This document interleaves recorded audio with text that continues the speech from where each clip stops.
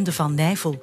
Na het mogelijk nieuwe spoor naar een van de daders, de zogenoemde Reus, getuigt de familie Palsterman bij ons. Diederik en Nathalie verloren hun vader Jan in 1985 tijdens de laatste aanslag op de Deleuze in Aalst. Diederik was in de Deleuze aanwezig met mijn papa.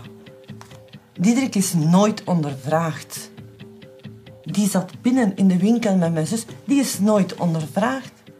Het is ook zo, ja. Kunt u dat, allee, kunt u dat allemaal blijven voorstellen? Elk klein element in die tijd was belangrijk.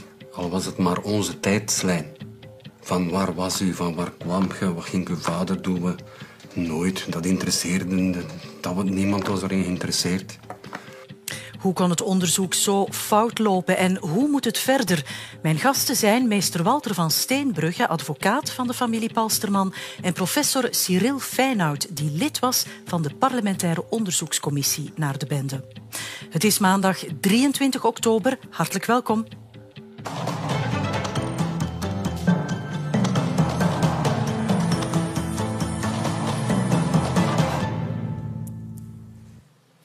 Nieuwe informatie over de bende van Nijvel, of beter oude informatie waar nooit iets mee werd gedaan, maakte dit weekend zeer veel los. Een van de daders, die de Reus genoemd werd, heeft op zijn sterfbed aan zijn broer bekend dat hij lid was van de bende. Die broer heeft het, net als strafpleiter Jeff Vermassen, over een doofpotoperatie en sporen die niet worden onderzocht. Vanavond reageert bij ons de familie Palsterman. Zij verloren hun vader tijdens de bloedige aanslag in de Deleuze van Aalst. Goed dat er eindelijk iets beweegt, zeggen ze aan Stijn Valk, maar er is ook verdriet en bitterheid.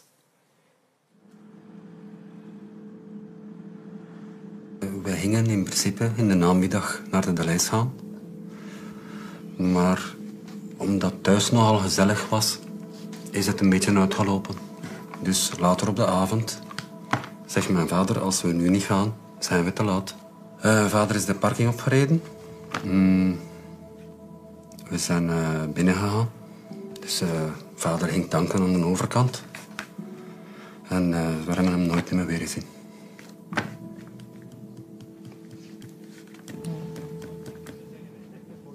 De kogel is door de zijruit gegaan van het voertuig.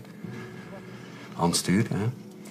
En toch zat de kogel achteraan in zijn hoofd. Dus, dus omdat hij nog gezien heeft dat er daar op 18 meter in stond. Hij heeft zo gedaan. En hij heeft drie ballen van dat één schot, waar dat negen, waar dat negen ballen in zaten, drie ballen in zijn hoofd gehad. Ben ik eigenlijk onlangs te weten gekomen. Hè. Men is ons dat nooit komen vertellen. Hè. Ik ben er zelf moeten naartoe gaan, naar die, naar die cel. En gezegd van, leg me dat hier nu een keer uit. Wat is er daar gebeurd?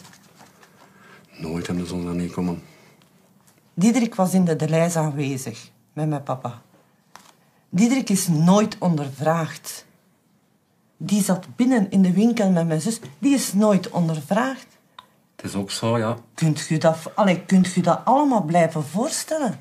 Elk klein element in die tijd was belangrijk. Al was het maar onze tijdslijn. Van waar was u, van waar kwam je, wat ging uw vader doen? Nooit. Dat interesseerde... Dat, niemand was erin geïnteresseerd. En dat nu nog altijd. Nu is er nog niemand geïnteresseerd.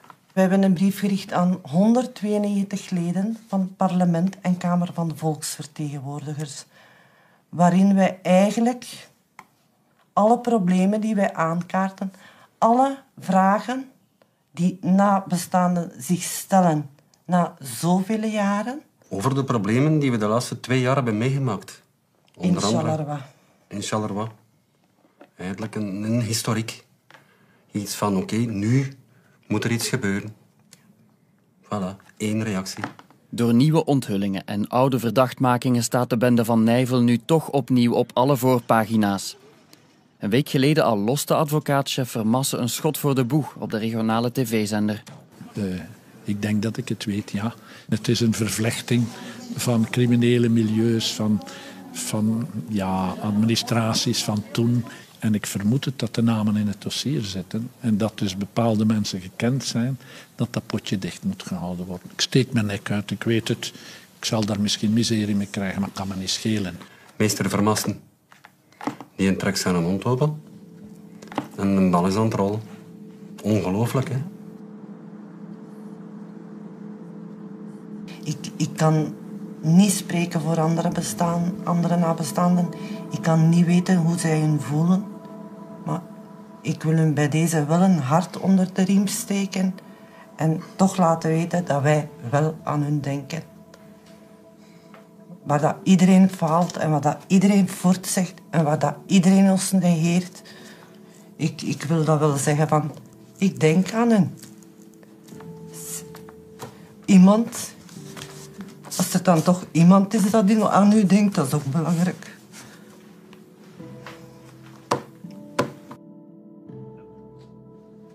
Er is zoveel gesjoemeld in dat dossier, dat uiteindelijk uw vertrouwen in justitie, dat valt weg. Eigenlijk moeten wij bij de duivel te biechten gaan. En dat is ons nu de laatste jaren wel duidelijk geworden. Er is te veel nevel. En ik, wij vragen nu om het op te lossen. Ja. De moderne tijd vereist dat we dit, dat we hier een deftig antwoord krijgen. Ja.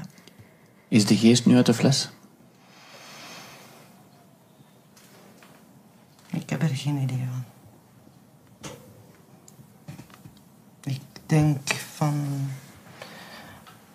Als ik nu hoor van gisteravond spoedoverleg met de minister en met alle magistraten van het land, dan heb ik zo de bedenking, misschien had me voor één keer in 32 jaar dat spoedoverleg moeten voorbehouden voor de naadbestaanden en de slachtoffers.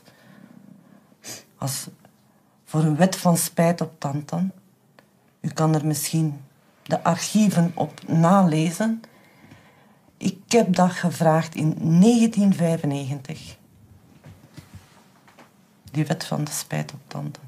En nu kan ik in mijn ganse verstand geen enkele plausibele uitleg vinden of verzinnen wat iemand op dag van vandaag nu er nog kan op, op inbrengen dat dat nog steeds niet is gebeurd. Ik zou niet meer kunnen slapen tot als die wet klaar is.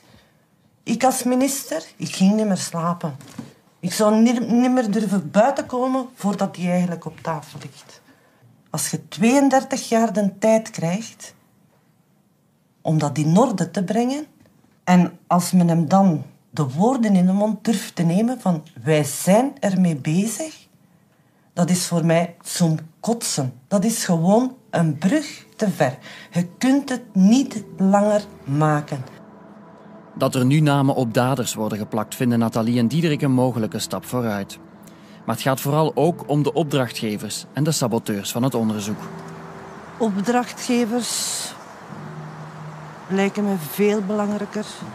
Mensen die al 32 jaar het potje dicht houden, die er alles aan doen om de waarheid niet laten boven te komen. Dat vind ik zoveel erger. Want uiteindelijk kun je als minister van Justitie, je kunt alles verwezenlijken, je kunt met nog zo mooie ontwerpen komen. De funderingen van justitie die zijn rot. En als je iets wilt, ze gaan opnieuw moeten opbouwen. Maar je kunt niet, kunt niet een geloofwaardige justitie bouwen op rotte funderingen.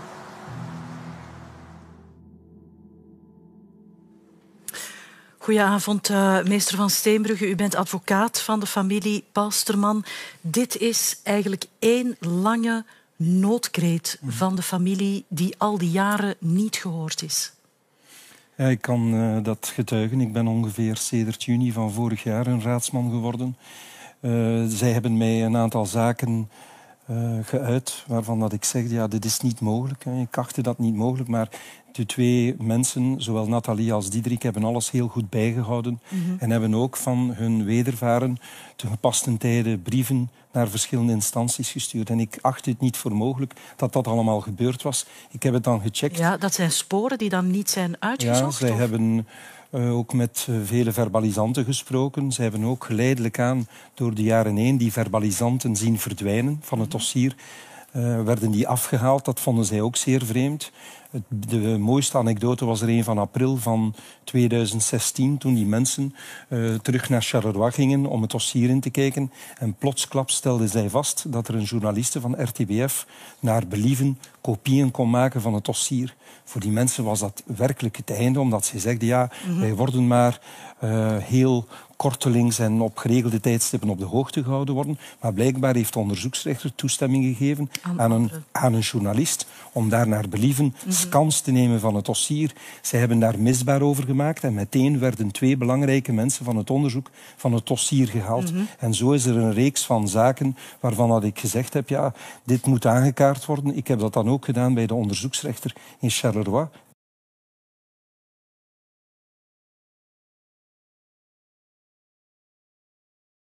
Die, en dat is nog niet tot uiting gekomen in de uitzending, op 4 oktober van 2016 met zoveel woorden gezegd heeft dat zij er zeker van is dat het onderzoek werd gemanipuleerd. Dus dat was natuurlijk iets dat heel hard aankwam bij de familie, al zoveel leed meegemaakt door de feiten ja. aan zich. En dan nog eens horen, horen uit de mond van de onderzoeksrechter, van mevrouw Michel, die woordelijk zegde het dossier is gemanipuleerd. Ik heb toen het dossier opgevraagd, het onderzoek naar het onderzoek. Ja. En dat bestond maar uit enkele velletjes papier. Dat was om te lachen. Ja. Maar zij heeft dat dus wel gezegd. Dat is eigenlijk uh, de sfeer die we het hele weekend hebben gehoord van um, verschillende betrokkenen. Meester Vermassen hebben we gehoord van slachtoffers. Uh, familie van slachtoffers die zeggen er wordt hier veel in de doofpot gestoken. Deze familie heeft ook het dossier eigenlijk niet losgelaten al die jaren. Mhm. We horen hen ook zeggen dat er ja, geschreven is naar alle parlementsleden. Ja, Ongeveer, dus maar die, dat zij niet ja, geen reactie die hebben. Mevrouw Palsterman heeft in eerste instantie een aantal stukken overgemaakt aan de minister, de huidige minister uh, van Justitie. En nadien, omwille van het feit dat er ja, geen reacties of toch onvoldoende reacties vanuit die hoek kwamen, heeft ze dan, en de dame in kwestie kan heel goed schrijven, heel bevattelijk, kan ze haar problematiek uit de doeken doen. Ze heeft dat gedaan. En er is één reactie van meneer Verrestraten uh, is er geweest. Die heeft kort gereageerd, maar de overige mensen, de politici, hebben niet gereageerd. Ja, nu, um, meester Vermassen uh, heeft veel gecommuniceerd het voorbije weekend. Heeft het uiteindelijk ook gehad over nog namen die blijkbaar niet zijn uitgespit, waar mm. hij over beslist. Wat zegt u daarop? Wel, ik zeg daar niet veel op. Ik zeg dat uh, we niet met hypothesen uh, mogen werken. Wat ik wil namens mijn cliënten, ik heb dat ook in maart van dit jaar aan de minister die mij uitgenodigd heeft. In maart van dit jaar heb ik gezegd aan de minister van kijk, ik vind het maar de meest normale zaak van de wereld dat die slachtoffers in de mogelijkheid moeten gesteld worden om het ganse dossier te lezen. Ja, dat, dat was is, minister Geens, ik heb hem dat die gevraagd. vandaag nog niet te reageren. Ik heb hem dat gevraagd. Ik heb gezegd van het is maar normaal in een beschaafde rechtsstaat dat mensen die het slachtoffer zijn van dergelijke misdaden, dat zij de middelen hebben mm-hmm. om dat dossier in te kijken. Ik heb aan hun gezegd van kijk, ik wil het lezen, het volledige dossier. Ik ben naar Charleroi gegaan maanden terug om te zien uh, dat is een gigantisch Dat is gigantisch. Dat kan hier in deze ruimte of in twee ruimtes niet binnen. Ik heb dan gezegd, ik wil daar zes maanden aan één stuk aan lezen. Maar dat is natuurlijk, u zult dat begrijpen, mm-hmm. daar staat een, een kostprijs tegenover. En dus die mensen zullen nu trachten via crowdfunding of hebben aan de minister gevraagd van is er geen mogelijkheid om eens werkelijk cold case gericht, bijna hè, mm-hmm. koel en koud in het dossier, zodanig dat je alles op de tijdslijn kunt plaatsen. En ik durf er dus u vraagt eigenlijk een nieuwe start, een nieuw onderzoek? Ja, ik denk dat dat het best is. Ik weet ook dat vandaag zitten we met het dossier in Charleroi. Het komt van Dendermonde. Het is nu in Charleroi. Mijn stelling is dat deze onderzoeksrechter, die al heeft gezegd met zoveel woorden, er is gemanipuleerd, dat één onderzoeksrechter zulk een formidabel, volumineus dossier niet kan beheersen. U moet weten, een onderzoeksrechter moet het onderzoek leiden. Verbalisanten krijgen opdrachten mm. om de zaken op PV te zetten. Maar vandaag is het zo dat de onderzoeksrechter dat dossier niet leidt, maar ze wordt geleid door wat de verbalisanten neerschrijven. Ja. Als je dan al vermoedens hebt dat er binnen de eigen korpsen magouilles, onregelmatigheden gebeuren, dan is dat structureel Ja. de beste manier om een dossier in de doofpot te steken. Goed, dat is uw vraag. Wat was de reactie van de minister daarop? Want dit vraagt ook zeer veel middelen, neem ik aan. Ja. Middelen die justitie niet heeft op dit Wel, ik moment. betwijfel dat. Ik denk dat er een heel grote som middelen, geldelijke middelen ter beschikking staan via het Fonds voor Slachtoffers van Opzettelijke Gewelddaden. Ik heb dat aangekaart bij de minister, maar we zijn nu een aantal maanden verder. Ik heb daar behalve één of twee telefoons geen verder nieuws over gekregen. En ik stel dan vast dat gisteren wordt bij deze zaak, ik heb de zaak altijd uit de media willen houden, gisteren komt de media dan op de voorgrond en dan beginnen alle klokken te luiden. Is er spoedoverleg? Ik zou be ja. zeggen, beter laat dan nooit. Het kan voor een kantelmoment het kan, zorgen. Ik hoop ook dat het uiteraard dat wordt. Maar ja? ik, ik vraag in de eerste instantie namens die mensen, geef ons de middelen om dat dossier volledig in te lezen. Dan durf ik er gif op innemen dat met de aantal zaken die ik nu al gezien heb, dat de, de puzzelstukken in elkaar gevallen. Wat ik ja. ook spijtig vind, dat is dat er destijds meneer Feyenoord en uh, collega uh, Rafferstraten werden aangesteld om het dossier destijds in te lezen. Maar ik vraag me af, hoe komt dat dat niet opgevolgd werd? Dat zij niet bijkomende opdrachten kregen of dat de beste penalisten in zo'n dossier... Spelen, zij hadden daar moeten een rol in spelen, waardoor dat ik ook pleit dat vandaag één onderzoeksrechter niet meer wordt aangesteld, maar verschillende, de ja. beste van het land, om zo'n dossier op te ik, uh, ik ga meteen uh, met professor Feyenoord uh, onder meer daarover spreken. Nu, meester van Steenbrugge, er kwamen onmiddellijk ook dit weekend weer grote theorieën op de voorgrond mm -hmm. over doofpotoperatie. Mm -hmm. U neemt zware woorden in de mond als manipulatie, complottheorieën over extreem rechts. De kans bestaat ook dat u helemaal niks zal kunnen bovenspitten. Dan blijven de familieleden van de slachtoffers nog verwezen. Ja, ik, ik, betwijfel dat. Hè. Als de middelen daar zijn en ze laten ons toe om het dossier volledig in te kijken, dan ben ik er zeker van, dit wordt opgelost. Trouwens, het zijn niet mijn woorden dat er gemanipuleerd is. Het zijn de woorden van de leidende onderzoeksrechter, stel u voor, die dat vorig jaar op 4 oktober 2016 gezegd heeft. Dus wat er nu dringend moet gebeuren, dat is dat er een team moet komen, zoals in buurlanden, Frankrijk, Spanje. Zij doen het, meerdere onderzoeksrechters aanstellen voor één groot dossier. Ik heb het meegemaakt toen dat ik de raadsman was van iemand die in Guantanamo zat. Uh, ik heb een onderzoek gevraagd. België doet niks. Federaal okay. parket heeft niks gedaan. Buurlanden, zegt men, uh, vele moeilijke dossiers okay. in handen van vele uh, rechters. En daar pleit ik voor. En geef die mensen de middelen. En geef ook de verdediging de kans om dat okay. grondig te doen. En dat zal punt, tot iets leiden. Ja. Uw punt is helemaal gemaakt. Meester van Steenbrugge, dank u wel voor uw reactie. En zometeen praat ik dus met criminoloog Cyril Feyenoud, die lid was van de parlementaire onderzoekscommissie naar de bende van Nijvel. Maar eerst schetst Lauke van den Driessen wat de bende precies teweegbracht en wat voor angst ze binnenbracht in het België van de jaren tachtig. Goedenavond, dames en heren. We onderbreken het normale verloop van onze programma's voor een extra nieuwsuitzending. In Aalst is een roofoverval gepleegd, alweer op een warenhuis van Deleuze. Volgens de 900 van Aalst zouden er zeker tien doden zijn.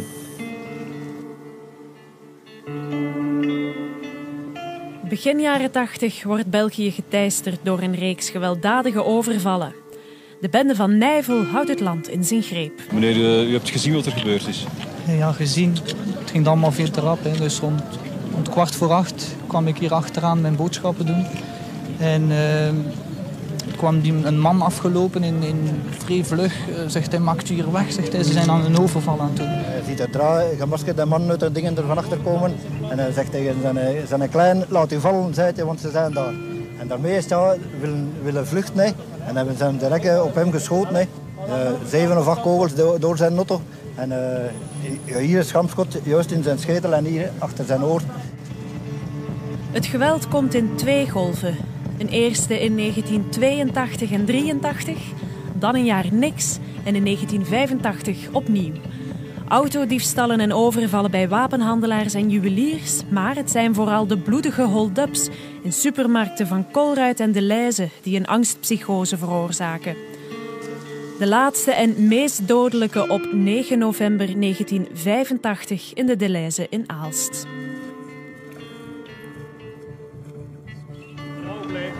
In totaal worden 28 doden gelinkt aan de bende van Nijvel. Het is alle week een praktisch ergens hier in België op het ogenblik. Uh, ik vind dat er toch zou moeten meer, meer gedaan worden in, in, functie van de bescherming van de mensen. De bewaking gaat, waarom maar twee? Twee, en de ene is dan nog aangelopen. Hij heeft de kinderen gaan wegsteken. Hij heeft eerst vol dat ze moesten binnengaan. Ja. Hij heeft de kinderen gaan wegsteken gedaan naar huis. Ik heb 30 meter ver. Ja. ja. Er komt extra beveiliging aan de supermarkten. Zwaar bewapende agenten en rijkswachters, snipers op het dak.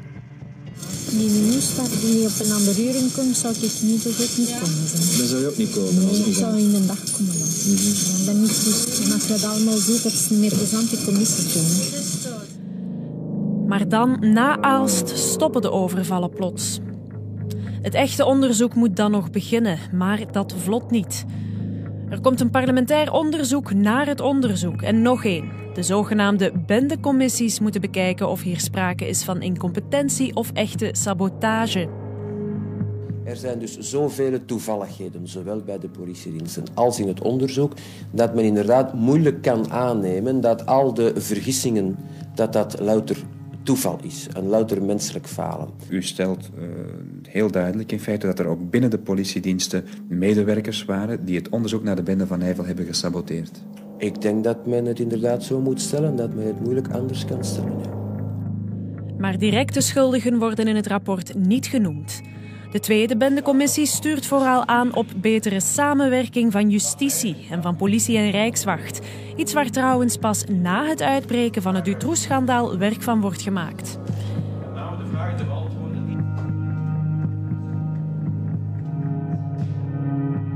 Intussen blijft het onderzoek gewoon verder lopen. Kasten vol theorieën over wie de daders zouden kunnen zijn. Wij hebben dan een analyse gedaan dus van wat er echt gebeurd is op het terrein, dus op basis van de getuigenissen. En aan de hand van dat werden deze tableaus opgesteld. Per feit wat elke dader juist heeft gedaan.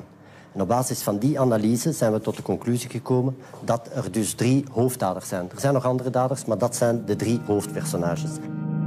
Het zal duren tot eind jaren 90 voor robotfoto's worden verspreid.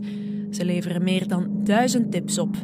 Eén van die tips wordt vandaag, 30 jaar na de feiten, ernstig genomen. Goedenavond, uh, professor Cyril Feyenoord. U was expert voor de parlementaire onderzoekscommissie naar de bende. U hebt daar heel hard gewerkt en daar een, ja, twee dikke boeken liggen daar een, een grote samenvattingsstudie uh, over uitgebracht. U hoorde ook net de slachtoffers. Het is eigenlijk niet uit te leggen wat zij verwoorden. Wat denkt u daarvan? Nee, nee, het is gewoon een heel aangrijpend uh, relaas. Mm. In alle opzichten. Dus uh, treurig dat deze mensen na zoveel jaren mm -hmm. ja, dit, uh, dit moeten zeggen. Ja, u hoorde ook wat er uh, sinds dit weekend uh, in de media is. De doorbraak die er zou zijn met de reus als mogelijke dader. Wat, hoe schat u dat in? Nou ja, met mijn kennis van het dossier, althans in de jaren 1982, 1997...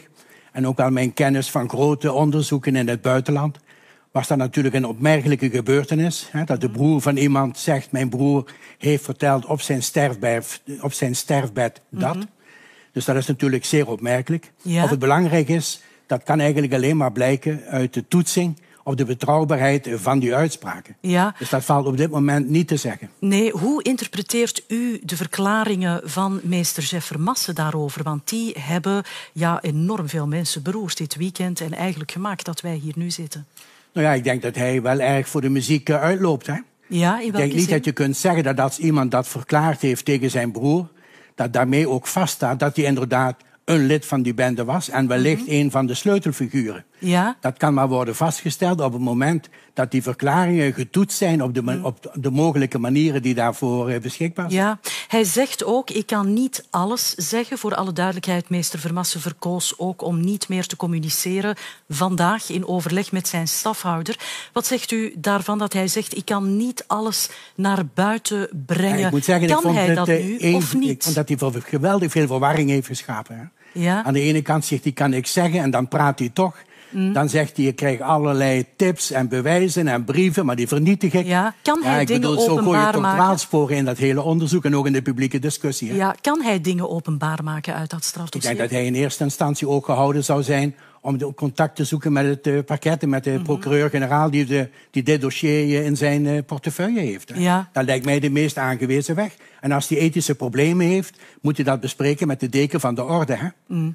Dus ja, die weg is heel duidelijk eh, in mijn opzicht. Ja. Maar hij komt naar voren, beweert allerlei dingen die hij niet kan hardmaken eigenlijk. Hè? Mm.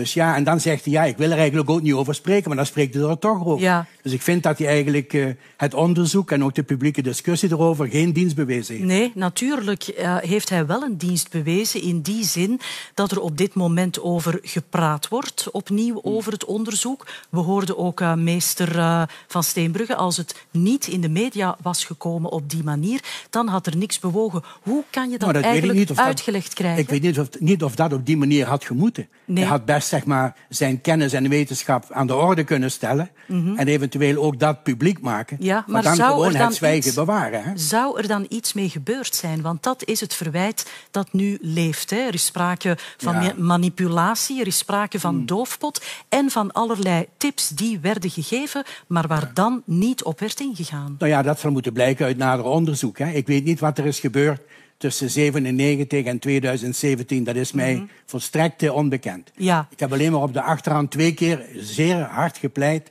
om een kroongetuigenregeling te maken. Ja, Ook waar- in richting van de, de huidige minister van Justitie. En gelukkig komt hij er nu. ja, waar de familie Palsterman het over heeft. eh, Nathalie Palsterman Ja. is ehm, ja, niet te spreken over het feit dat dit zo ongelooflijk lang moest duren. Ze heeft gelijk, toch? Ja, nou, ik, ik zeg, ik weet niet wat er is gebeurd tussen Mm. 96 en nu. Met de aanwijzingen die er zijn gekomen, verklaringen die mensen hebben afgelegd, bezoeken die ze hebben gebracht aan het parket in Luik of in Charleroi. Daar spreek ik mij totaal Nee. niet over uit.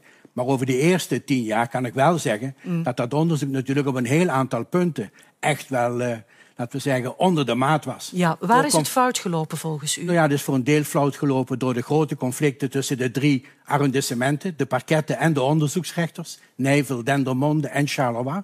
Het is fout gelopen door, laten we zeggen, toch een heel zwaar conflict in de verhouding tussen de Rijkswacht en de gerechtelijke politie. Een absoluut wantrouwen? Groot wantrouwen, met name aan de kant van de gerechtelijke politie, die bang waren dat er inderdaad leden van de Rijkswacht betrokken waren bij die aanslagen en daarom eigenlijk niet nauw wilden samenwerken. Mhm. Het is ook in de fout gegaan omdat er veel te weinig middelen waren en bevoegdheden en methoden Mhm. om een dergelijk groot onderzoek eh, te doen.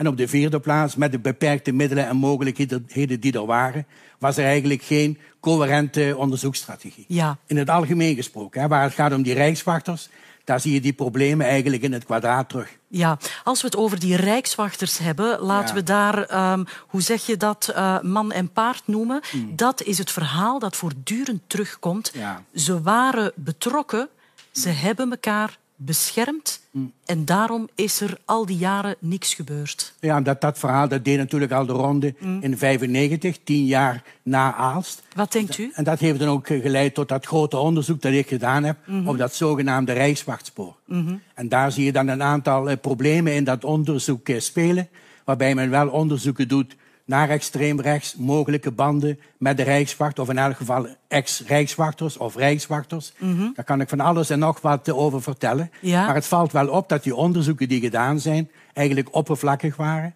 niet met voldoende coherentie, ook niet met voldoende doortastendheid en met voldoende diepgang. Met andere woorden, eigenlijk zeer is. frappant. Zeer frappant dat het niet is gebeurd. Ik haal er een voorbeeld Ja. bij. Mhm. Dat gaat dan hè, over die feiten die nooit goed werden onderzocht. Ja. Bijvoorbeeld de wapendiefstal bij groep Dian in 1982. Nou ja, dat is een eh, bijzondere casus. Nou, Dian heeft men allerlei onderzoeken ingesteld.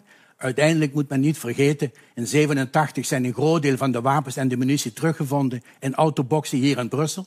En zijn er twee ex-rijkswachters voor veroordeeld. De een Mhm. tot 20 jaar en de ander tot eh, 12 jaar. Mhm. In dat kader zijn er ook onderzoeken geweest, zeker binnen de Rijkswacht, naar heel de groep Dian. Ja. Ook naar ex-leden van de groep Dian. Mhm. Alleen het is heel moeilijk om vast te stellen op grond van de bestaande dossiers, in elk geval in 697, wat die onderzoeken precies waren en tot Ja. wat ze hebben geleid. Als we het over dat onderzoek hebben, u hoorde eh, hier net meester Van Ja. Steenbrugge die Mhm. zegt laten we een volledig nieuwe start nemen, eraan beginnen met een groep van ja, verschillende onderzoeksrechters. Er zijn middelen voor die kunnen uit dat slachtofferfonds komen. Nou ja, in 1997 ben ik met eh, de voorzitter van de commissie naar Charleroi geweest. En daar heb ik toen ook voorgesteld om een keer een, een groep eh, rechercheurs, ervaren rechercheurs in dit soort van overvallen en aanslagen uit Frankrijk en Nederland naar Charleroi te halen en hen het dossier te laten bestuderen om te kijken of er andere mogelijkheden waren, betere mogelijkheden waren voor dat onderzoek. Mensen van buitenaf dan? Van buitenaf, ja. Maar dat, dat is eigenlijk niet op... Uh, ja, dat, dat, dat heeft men nooit, nooit willen doen. Ja. ja. Zegt u dan nu, dit voorstel zou wel werken? Nou ja, ik denk wel dat uh, de vorige spreker wel gelijk heeft dat je dit onderzoek in handen moet geven van een krachtige pool ervaren deskundige mm. politiemensen en ook uh, onderzoeksrechters, uh, parketmagistraten. Het is daar vandaan dat ik vanmorgen op de radio heb gezegd men zou misschien toch moeten overwegen om het in handen te geven van het federaal parket, mm wat niet bestond in 596, ja. waardoor men eigenlijk ook niet kon uitwijken naar een hoger niveau, maar alleen maar naar een andere arrondissement, in dit geval dan Charleroi. Dus dat zou zeker een optie kunnen zijn. Maar men moet misschien ook wel eh, profiteren van de ervaringen die in Nederland, in het Verenigd Koninkrijk, Frankrijk en ook in Duitsland zijn opgedaan in dit soort grote dossiers. Ja, ik onthoud dus, we kunnen het eigenlijk niet alleen. Denkt u dat er voor dit dossier, denkt u dat er nog hoop is eigenlijk? Nou ja, dat is altijd moeilijk op voorhand te zeggen, ook op dit moment. Maar ik heb altijd gepleit voor een kroongetuigenregeling, omdat als je kijkt ook naar de omringende landen, maar ook naar de Verenigde Staten en Canada, er zijn altijd mensen die op een gegeven moment, het zij om conflicten binnen zo'n groep, het zij omdat ze inderdaad vroeging krijgen over wat er is gebeurd, wel willen spreken. En voor, die, voor dat geval moet je zorgen dat er een coherente, veilige regeling is voor degenen die belastende verklaringen zouden willen afleggen over zichzelf, maar ook voor andere betrokkenen. Dus dat lijkt mij aan de eerste, op de eerste plaats van groot belang. De betrouwbaarheid toetsen van wat nu mm. kennelijk is eh, gezegd door die rijkswachter en, uh, in de richting van zijn broer. En zorgen dat die kroongetuigenregeling er komt. En dan ook dat onderzoek uh, voortzetten met behulp van dat middel. Ja, professor Feyenoord, dank u wel voor uw toelichting. Graag gedaan. En dit was ter zake over de bende van Nijvel. Ook een onderwerp trouwens in de afspraak met Bart Scholz en zijn gasten. En vanavond na Extra Time duiken we met Canvas in het archief en zenden we de panorama uit 1990 over de bende uit. Heel graag tot morgen. Thank you.